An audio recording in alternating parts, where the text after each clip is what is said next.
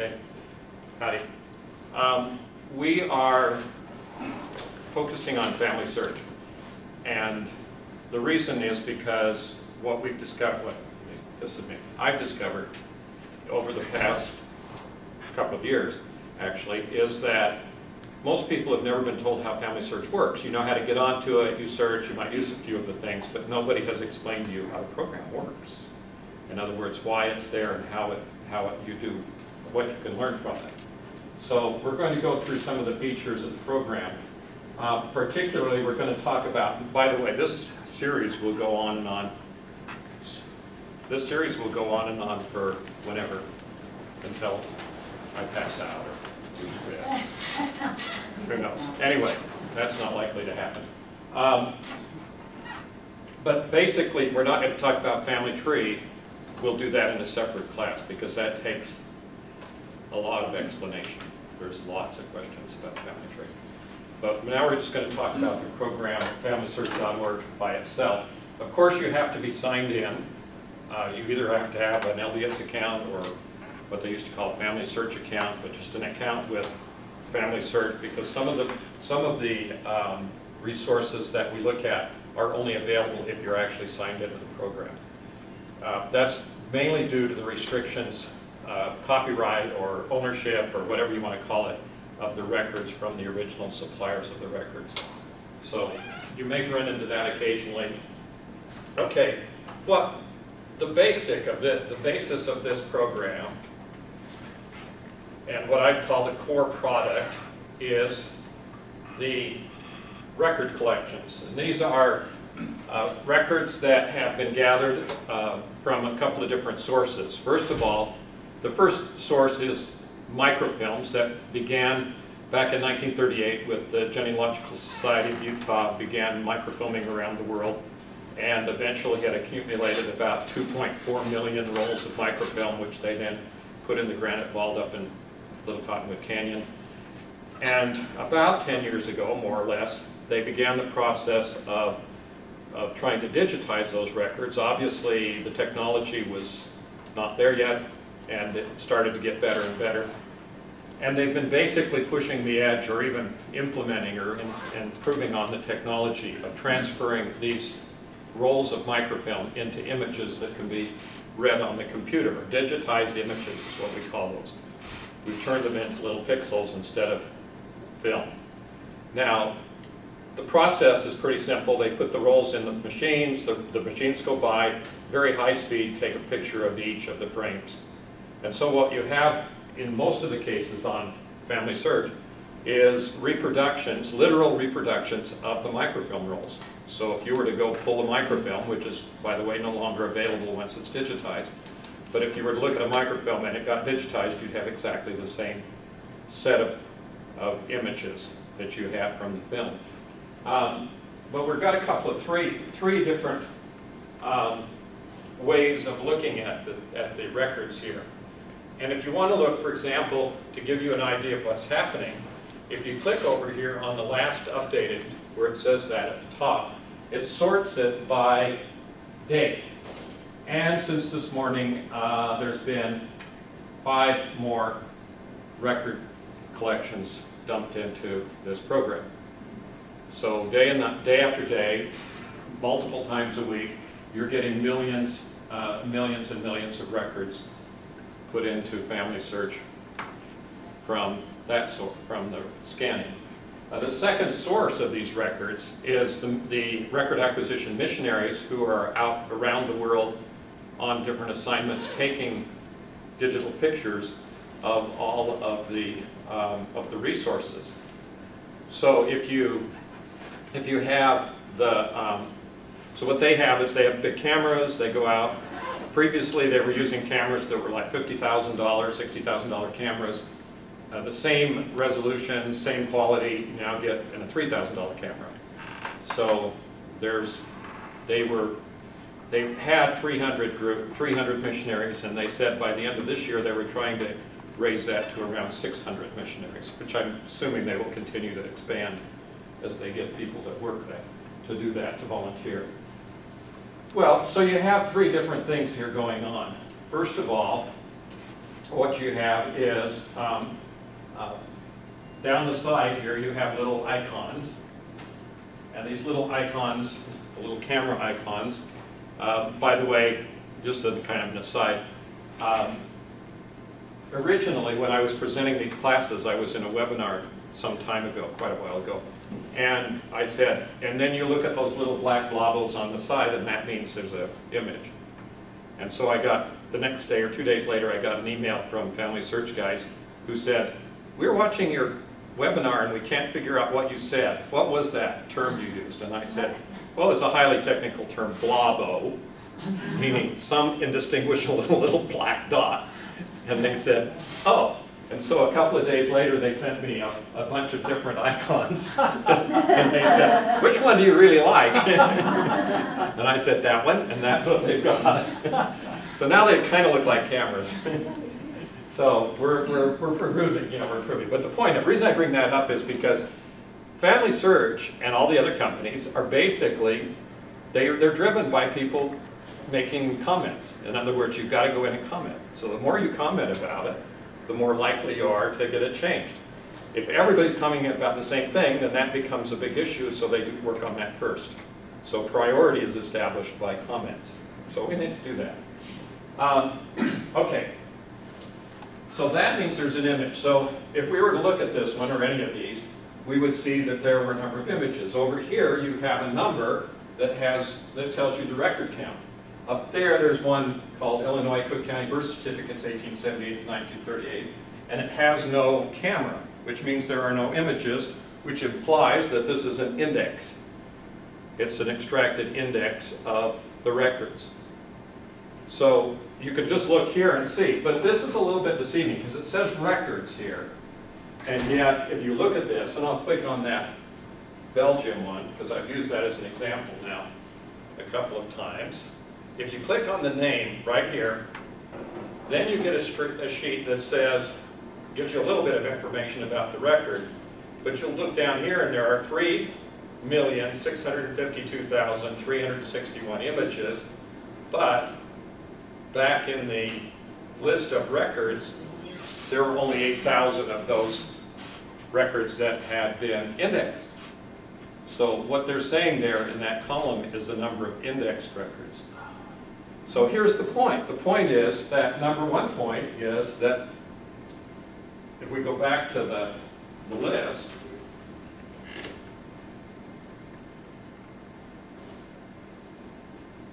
um, what we see here is a whole bunch of ones that say browse images, browse images, browse images. What that means is that those have just the images. You can't, they're not indexed. So if you do a search on FamilySearch and you search for your name and you put in your name in the search field, you're not searching those records at all. You are only searching the records that are indexed. And so only about a third of the records are indexed. So two-thirds of them aren't. So hear people come in and they'll say to me, oh, I searched on FamilySearch. They don't have anything about my family. And I said, well, how did you do that? They said, oh, well, I just went in and put in the names and we didn't find any records at all. And I said, well, you've only searched about probably a fourth or a third at most of the records. So maybe if you went back and looked at all the different microfilms there, you would find more records about your family. So that's, that's one thing that we ought to be extremely aware of when we go in here is that we're not really searching. And it goes too, and a question was asked this morning about if you do that search for mm. records link off of your family tree. It's only searching the indexed records. That's the only way they have of going into those records. Other than looking, having somebody look personally at each image. Are these non-indexed records in some sort of logical order where it would actually be possible to go through? Because if it's browsing three million records, I'm done. Okay. The, the answer is, the question is whether or not there's any of these records that are in some kind of an order. Well, let's look at them if we go into this record from Belgium, and we, we click down here on Browse the Images, then there's a whole bunch of names of towns. Okay. And so we can go to Brussels. So it is. And then we have a whole bunch of different names of types of records here, Okay. like birth records, death records, all sorts of records. marriage records. And so then if we look at the book, any of the ones that apply to the time period that we're interested in, then we can come up with the roll of microfilm, and then if I just put in a number here, just jump out here a ways to a different page, then you're going to be able to see the actual records. And then this one, yes, you would have to go through. But what you're going to find as you go through these records is that they are in chronological order. And so if, as you start looking, you'll be able to continue to find the records. So I can narrow it down. Yeah, And yeah. I, I won't hit exactly the right one, but I, I, I'm gonna be in the right Yeah, place. you're gonna look at it, and essentially, when you get to this point, what you're doing is you're looking at one roll of microfilm. This one roll has like 910 images on it, but, I'll go through nine hundred and ten, but I won't do three million. yeah, well, you could try to go through 3 million, that'd be fun. If that's all you wanted to do for the rest of the year. Um, Okay, but this, you know, this is really um, the point at which you can get. Now, I've had people say to me, I mean, literally, I just, I can't understand this. Anyway, I've had people say to me things like, oh, well, I really like the old microfilm because I like the microfilm. And I go, well, I really like riding a horse too, but that didn't mean I give it up for my car, you know? It's not really the same thing. And, and right, with these, you can save it, I can download a copy of that, I can print it, I can turn it, I can rotate it, I can do all sorts of things with it. You know, and I can zoom in and see it higher quality than I can on any microfilm. In those black boxes, staring at those things with my neck going, "Arr," you know, that isn't gonna work. So, basically what we're doing is, is we're looking at, at these records. Now, what's, what's kind of the key here? What's going on? Let me think if there's something that I, let me go back to the records point. Uh, Comment. Yeah. Um, If you are looking for wells, uh, you probably know when your ancestor died or about. Right, Since all those are chronological, you don't need to search them all, you look for that exact date. yeah, yeah, that's what I was hoping he would Yeah. tell me. Yeah, no, that's, that's the way it happens. You're, you're hoping, of course, that they were all kept in order and that when they were imaged, that they were in some kind of chronological order. The real answer to this is always go to the end of the roll of both, whatever set of images. When you're doing microfilm, the old rule was always go out to the end of the roll because you don't know that they didn't stick some extra images at the end of the roll. Got it. And sometimes there's an index with the roll. Yeah, Yeah, but and index is y- sometimes and the, the different. problem with the- any index, including the indexing done by anybody, I'm not just criticizing anybody, but all the indexes, you always want to go look at the original record if it's available, because you never know if they've indexed it properly. uh, the tenant, uh, of course, I've done a lot of this. Uh, The date inside of the record is different than on the top. And the index is at the top, so it differs two, three days Yeah. usually. Yeah, she's saying that the index might be different because the dates could be different on the records than they are. Uh, It might be a book, like for example, the book might say 1830, but then when you get into it, started in 1829 or 1827 or whatever. No, not so much that, it is, for instance, if they say nineteenth of August, the index nineteenth of August, then the, the actual event happened the seventeenth or the sixteenth of August. Oh, yeah, So it's the date that is different. yeah, Because they have to, uh, they have to go to the, uh, to, to the city hall within forty-eight hours. right. So it can differ quite a bit.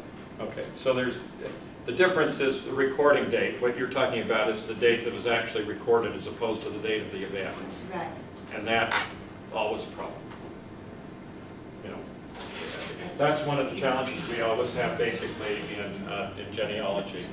Okay, so, so now if we go down through the list, now, the first thing we want to do is make sure we understand what we're looking at here. We're looking at all the records, and over here are the different places, so we can, we can uh, bring that down, for instance, to United States, then we could come down here to Utah records, and then we can see that there are only these um, 27 different records. And as you see here in Utah, even with just these 27 records here in Utah, we got Colorado and all sorts of things. Okay, well, we got Utah to the top.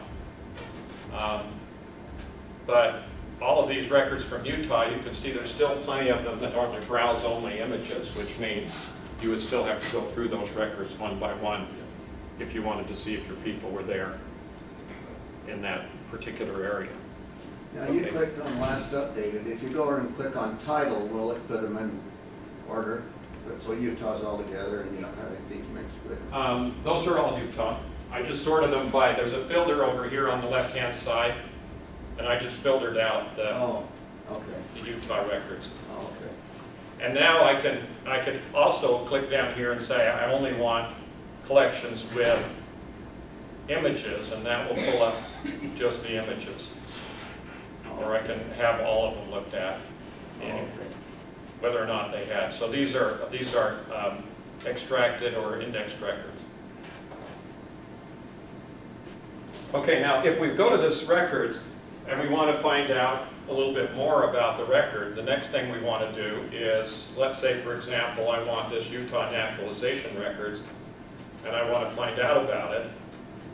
Well, first of all, there are 2,000 of these in the collection. But up here, in every record, there's a little link that says Learn More. And the Learn More link takes you to the Research Wiki.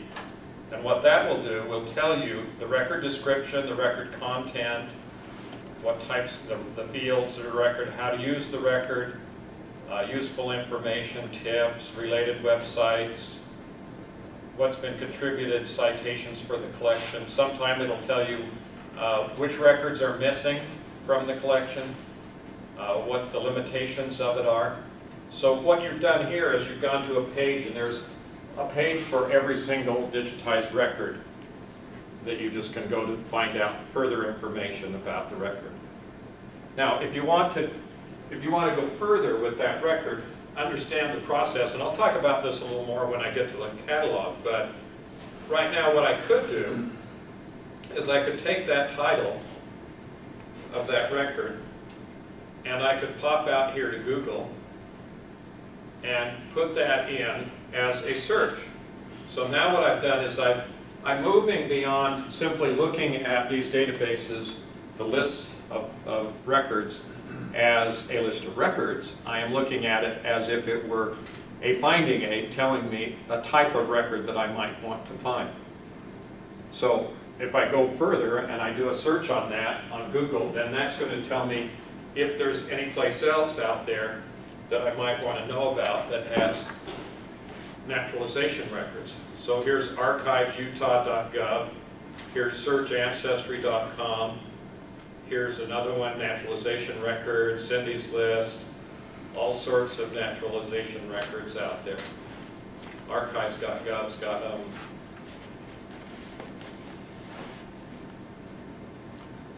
Okay, so there's a whole list of different websites out here that would be additional naturalization records other than the ones that I just found in FamilySearch.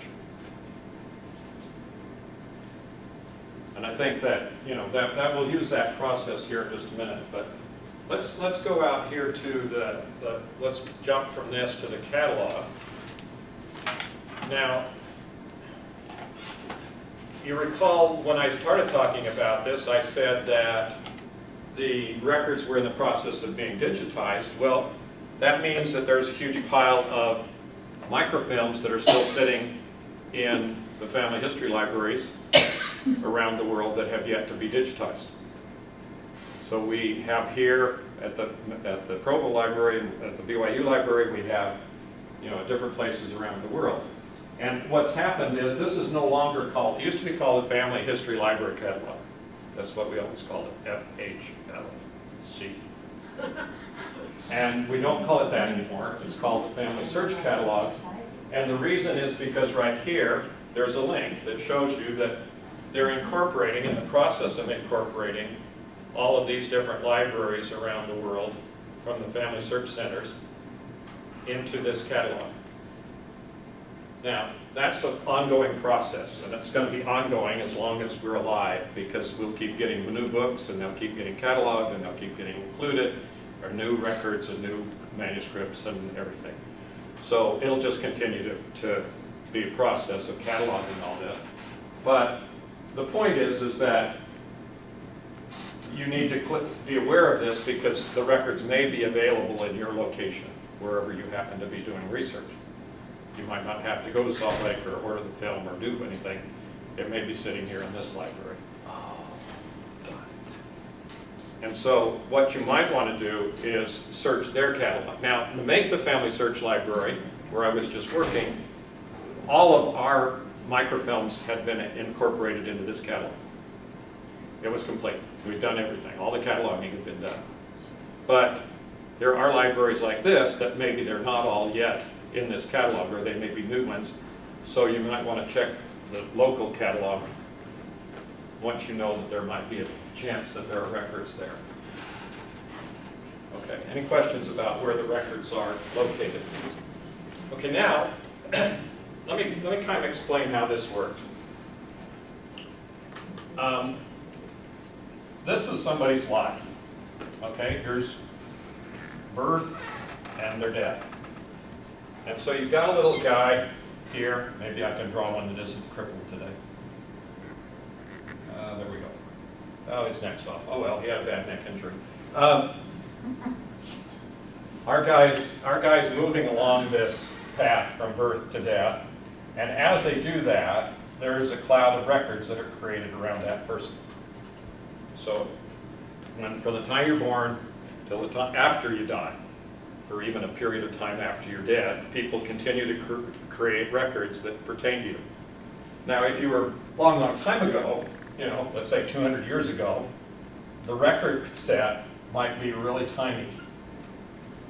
Might be just a little tiny bit of records. If you're today, the record set's probably something like that. And maybe even so big we can't draw it on the board. So what happens here, and, and and if you're thinking about today, every time you move, you're creating a record. I mean, if you just go out your front door and get in your car and drive, you're probably creating a record. You don't realize that, but that's what's happening. I mean, every time you buy gas, every time you go to a store, every time you go out to eat, every time you, you know, go to the hospital, go to a doctor, uh, anything you buy, everything like that gets recorded out by everybody. And even if you're just driving in your car, there's probably a security camera, a camcorder, or whatever sitting there watching you move wherever you're going. So you're creating this huge cloud of records that comes with, with living today.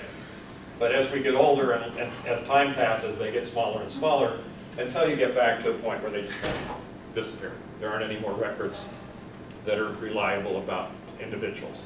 Okay. Now, suppose that we have all these records. Understanding how the records are created is crucial to doing genealogy because we need to know where they come from. And the two things that are important are a place and a time. Every event that happens, happens at a certain place on the earth with a certain, at a certain time.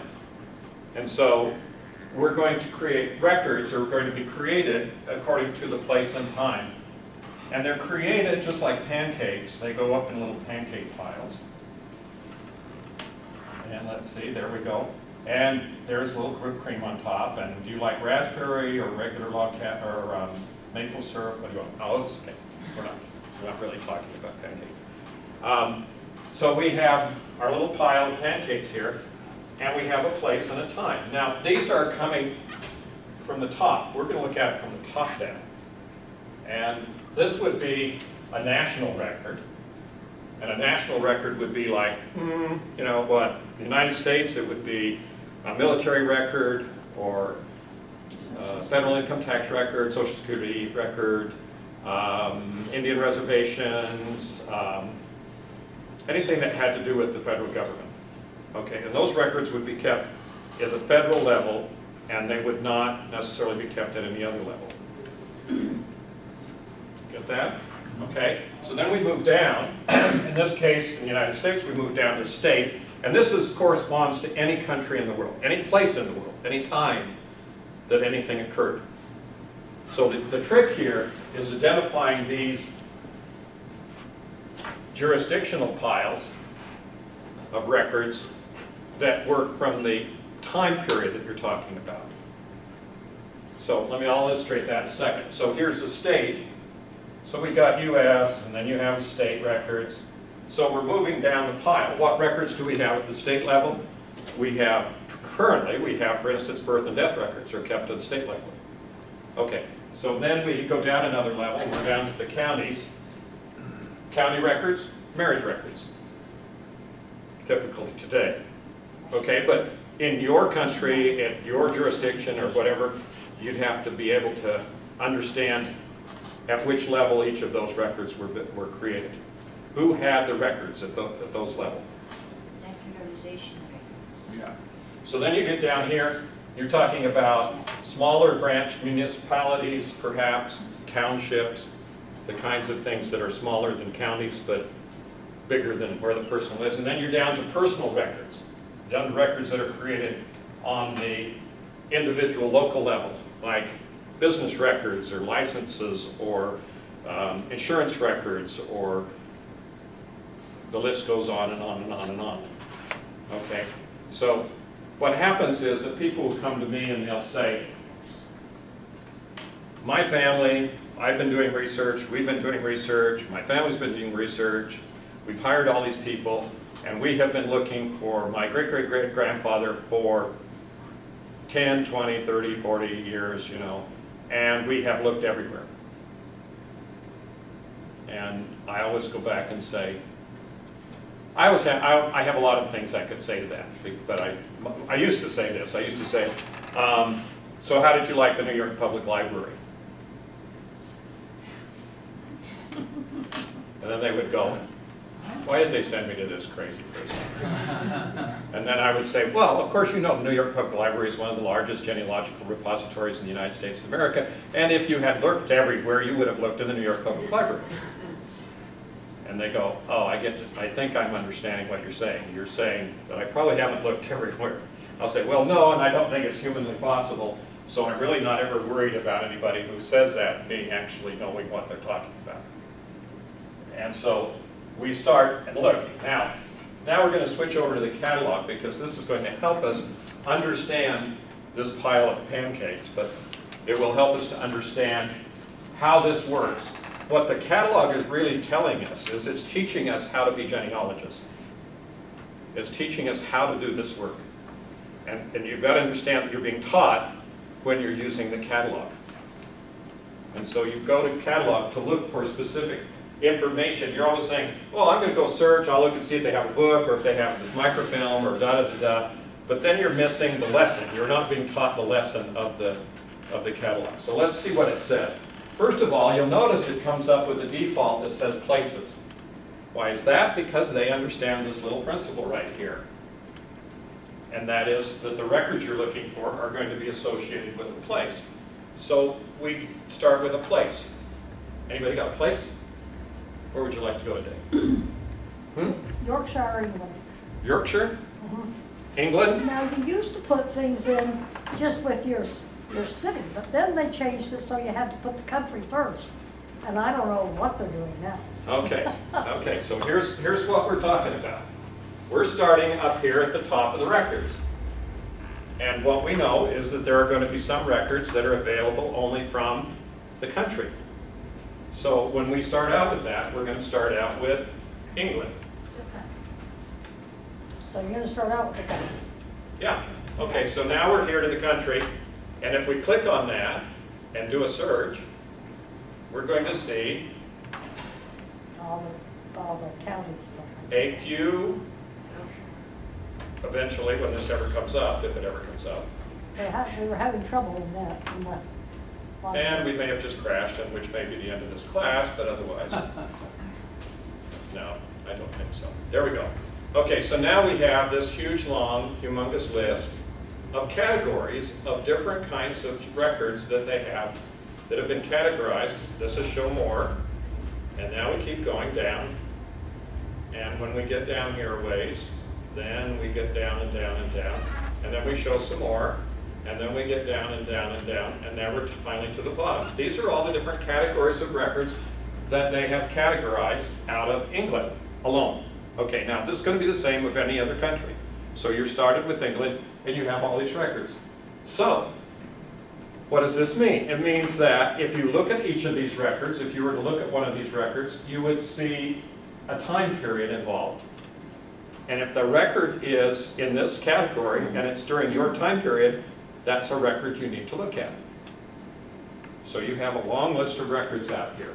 So if I go down here to, to, uh, for instance, if I go up here to N.M. military, maps, land, history, Herald genealogy, all sorts of things up here. And I go up here to church records. I have all sorts of different kinds of church records, but I have a huge list of church records from the, from the country. And these are back in different time periods. So I can just look down through here and see if there is a record that corresponds to some place I would, my people would have been during that time period. Now, I'm not going to make any assumptions. Basically, I'm going to say, this record is a candidate for search if my person lived in England during that time period. Because I don't know yet until I look at the record or the description of the record whether or not that's the case. So I might want to just keep looking at all the descriptions to find out how they, how they correspond. So let's say this one, and it tells what it is and so forth, and so we can get down here and see where it is. Happens to be sitting in Idaho Falls Family History Center. So we'd have to go look for this book. But we do that and work our way through this list. Now, over here on the side of the list, you'll see a number of things that say add, add, add, add, add. What you can do with that is you can create a list of reference area, of places, you, of records you want to look at, and just by clicking that add, and then you can print that list off.